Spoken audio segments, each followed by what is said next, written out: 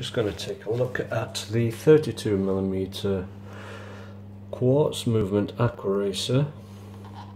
The lady's two-tone gold.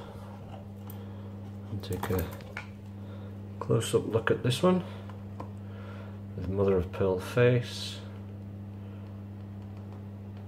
And just make sure she's got the correct original movement because we can't register the serial or the warranty do need to take a look inside to make sure they're genuine.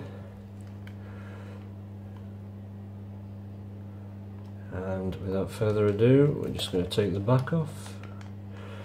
There's an Aquaracer diver helmet stamped into the back. And if we can just get really close in there I don't think we can macro deep enough really. You can see there's a genuine ronda movement.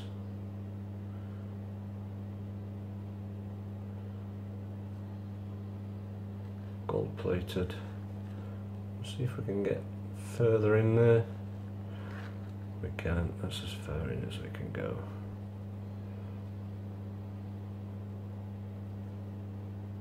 Just try and get that sharp as we can. Maybe we can get that manual focus. Get even further in. Yes we can. Ronda 5 jewels.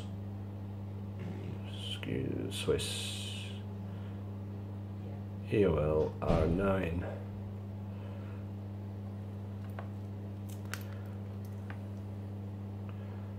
just try and get close up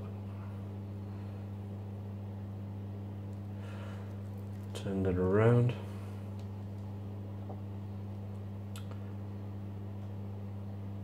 some of the detail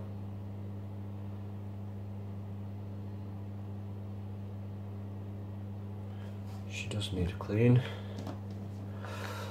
We'll clean that up before it goes out to a customer.